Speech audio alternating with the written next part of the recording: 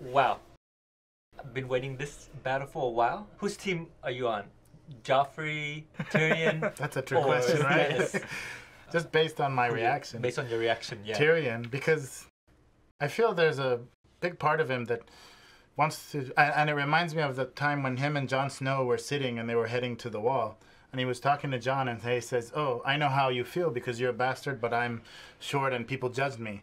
And he's trying to do, to change the way people judge people and do things kind of somewhat in a, but he's surrounded by all these Lannisters that are crooked. So I really feel there's a part of him in there.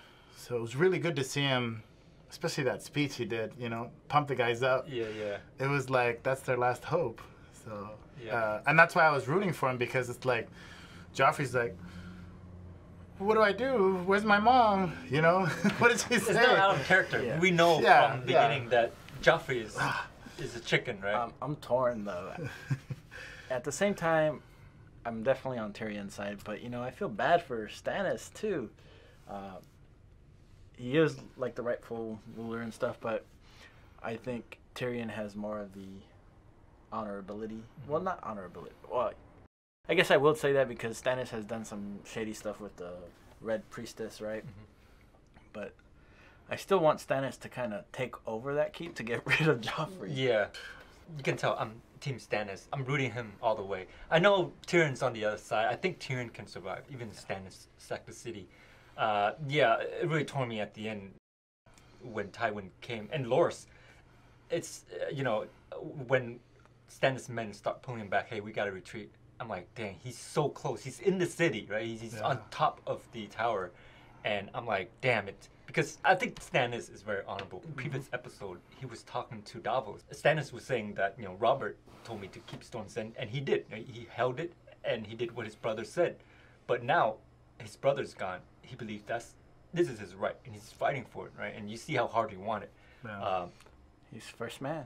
Yeah, and that's how m- my relationship with my brother. I felt like sometime, you know, when my brother said something, you know, I'm like, oh, I trust my brother. I love him. I'll listen to him. Right? It's uh, very understanding, and it's sad to really see him, you know, uh, lost at the end. when they were attacking, right, and they make it to land, and you think about it, they're they're progressing pretty well, even Yeah. with Tyrion coming in through the side, and just to think about it, that that's like half his fleet only Yeah, yeah, due to that wildfire. Yeah. that was pretty. That's, that was, that's crazy.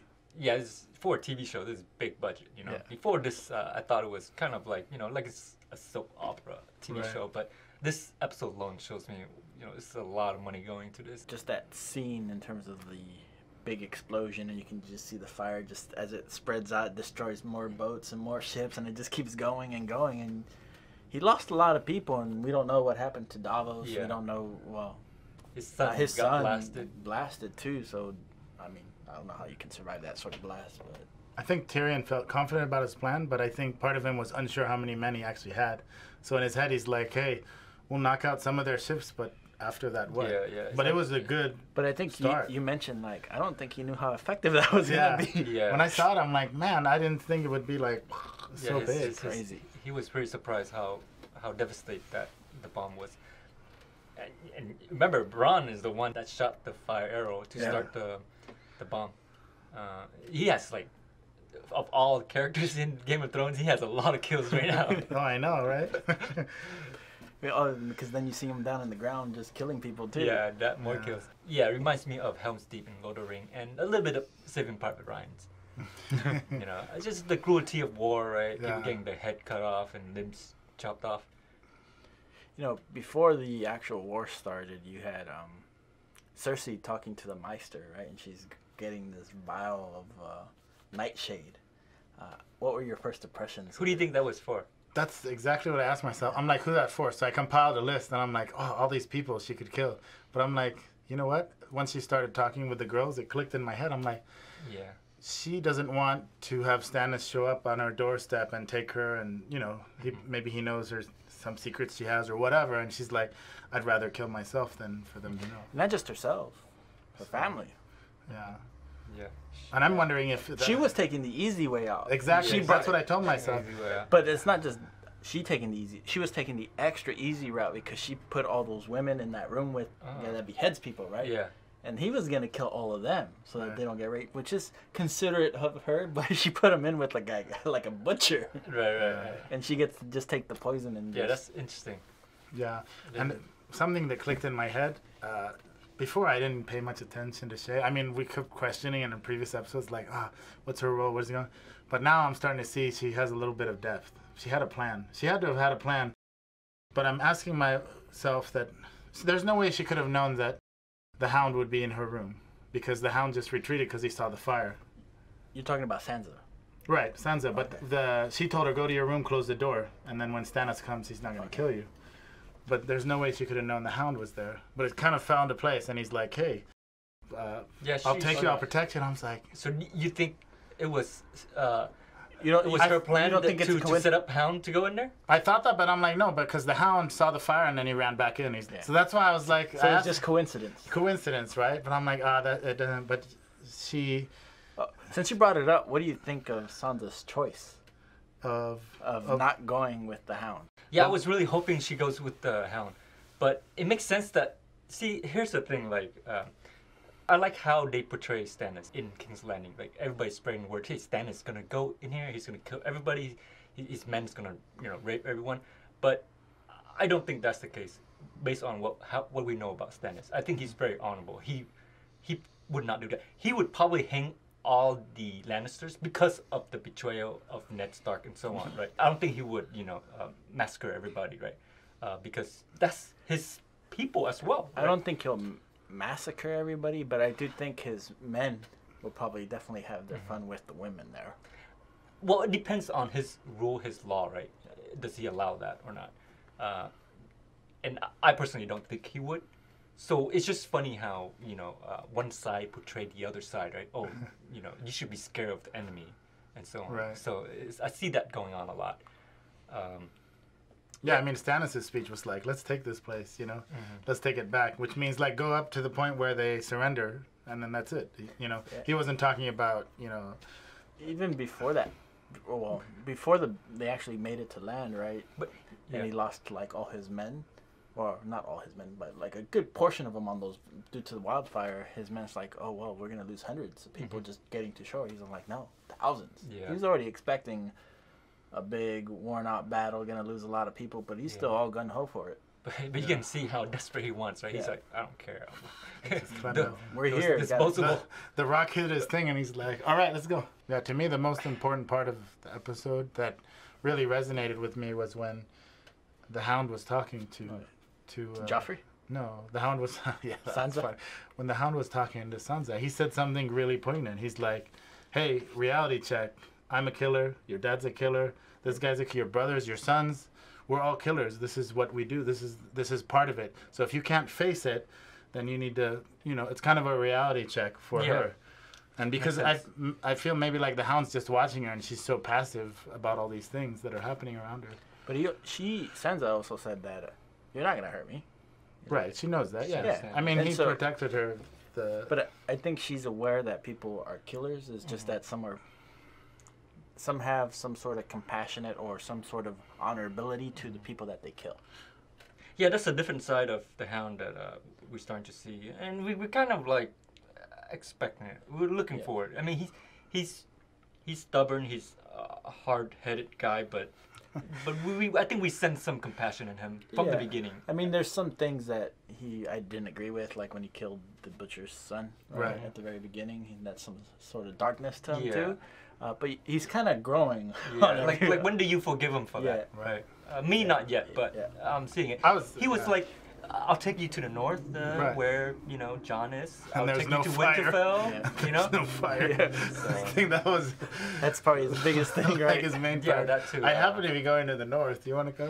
So so it's But- possible he, he's thinking of her and, and wants to rescue her, right?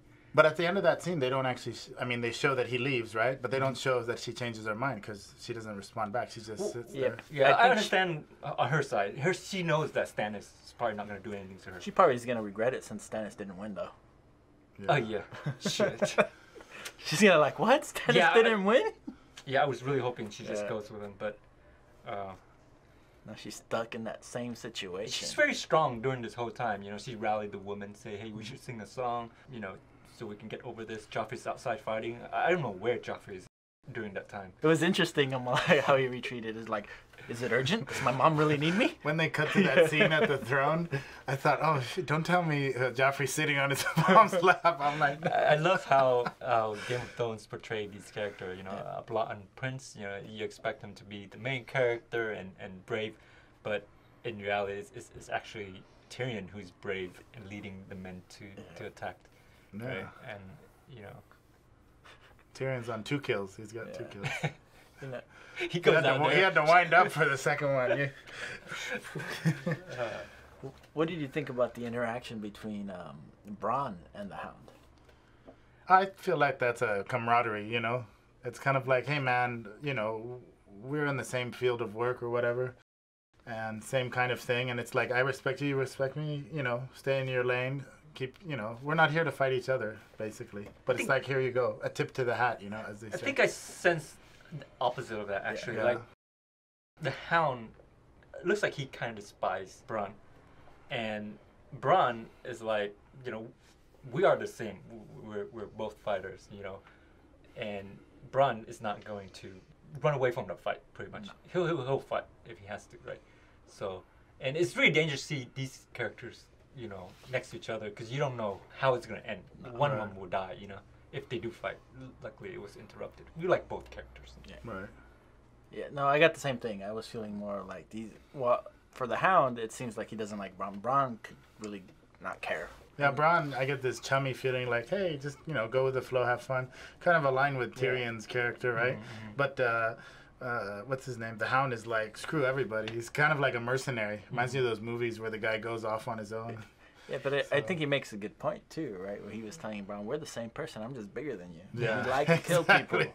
Yeah, You like to Uh, kill people, so don't try to hide it." yeah, yeah.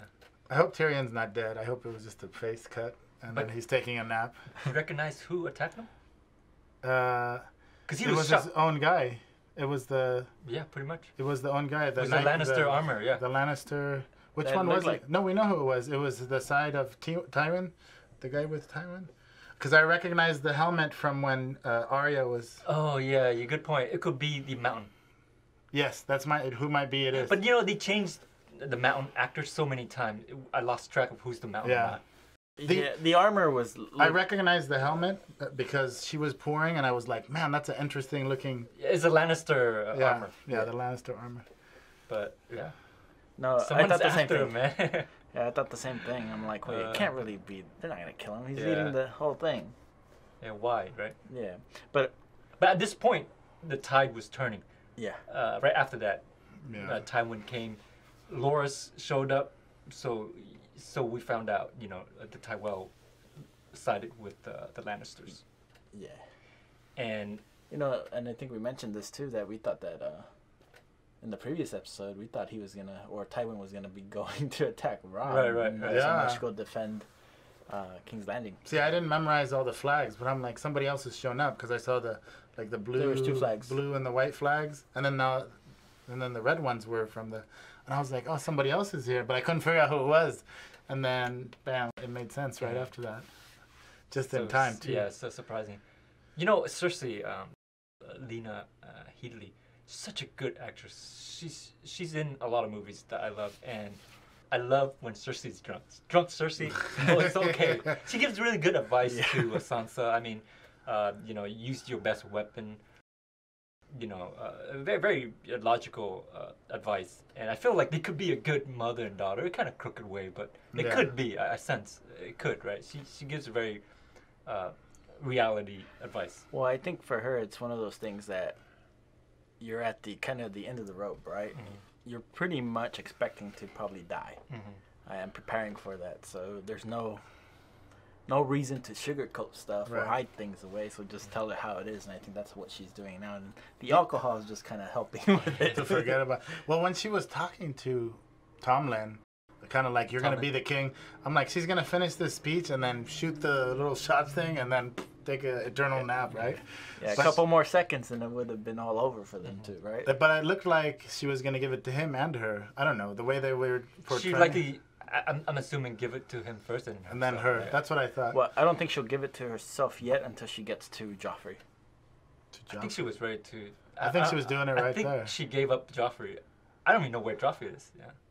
Uh, yeah, I don't know where Joffrey And is either. but- Definitely, she probably could, can't kill Joffrey I- anyway. Yeah. I mean, she she's gonna give it to Tommen. I would assume that she's gonna try and give it to Joffrey just because, dude. I don't. I think If, if somebody I think- captured Joffrey, Yeah. what they would do to that guy? No, Yeah, she yeah. she knows they're gonna kill him Well, at yeah, that point. Yeah, for sure. but yeah, but the whole point is that she wants to avoid any any brutality. Yeah, but Yeah. I, I think at that point she was ready to go because she can sense that there are people outside of the the the hall. The hall you know, they're approaching. So, um, Oh, definitely. If it came down to it, and Yeah. she's like, you know what, I'm, I'm gonna down this. But Yeah. if I think if she had the opportunity to do it, it, is Tommen first. Let me find Joffrey. Get Joffrey down. Joffrey there. wouldn't. I don't know. I don't think Joffrey would.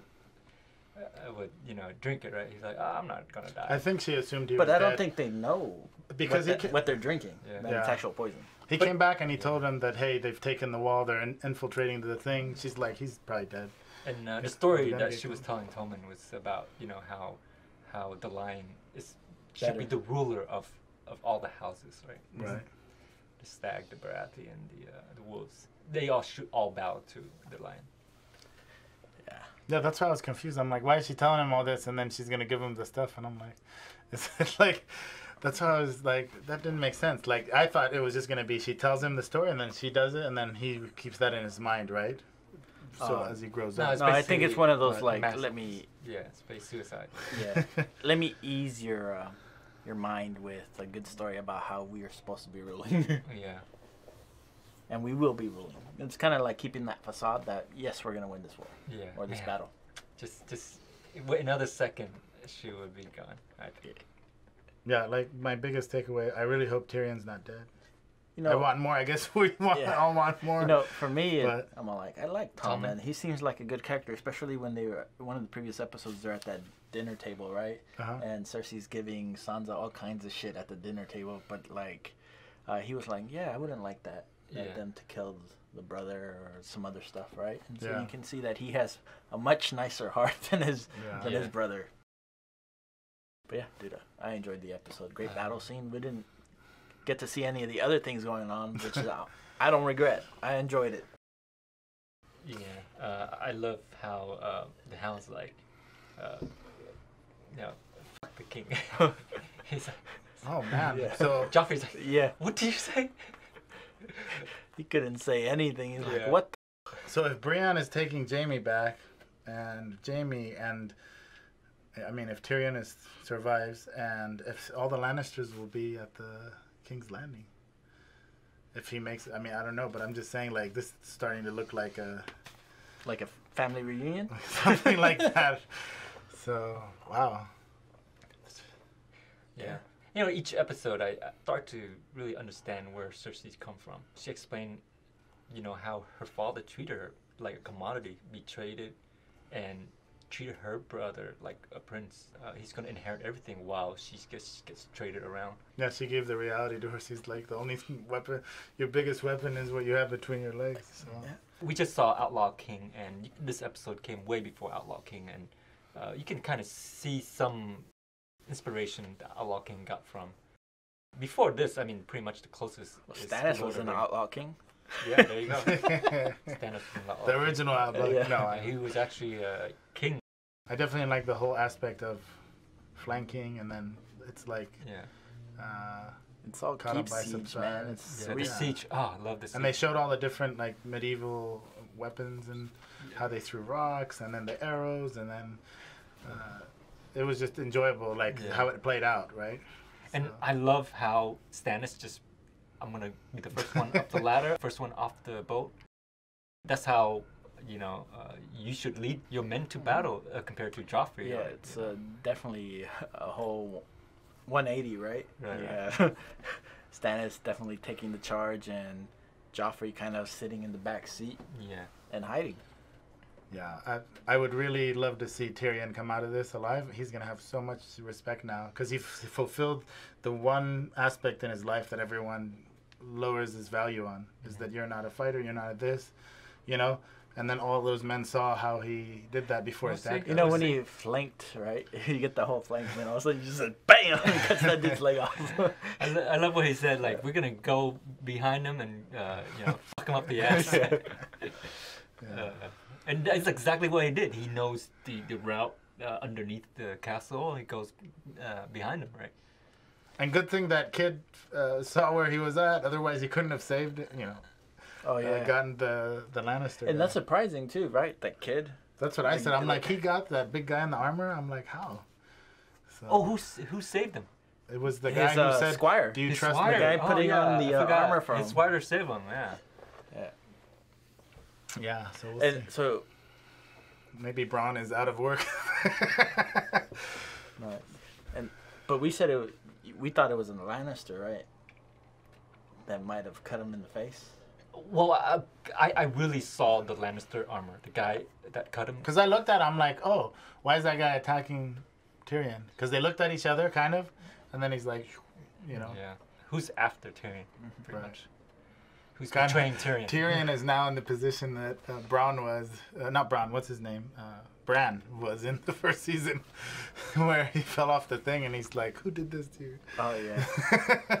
Do you He's gonna lose- remember? Oh, I you think he's gonna lose his memory? no, no, I mean, yeah, so it's like uh, he's gonna solve the mystery there. well, that guy's face probably not noticeable anymore. Yeah. the way he Yeah. died. So it's already done. All right, guys. Thank you for joining us. Another episode, great episode, episode nine. Uh, we're gonna do ten soon uh, after this. Thank you for joining us. See you guys. Take care. Seems like every season, episode nine is the one to watch, huh? The build up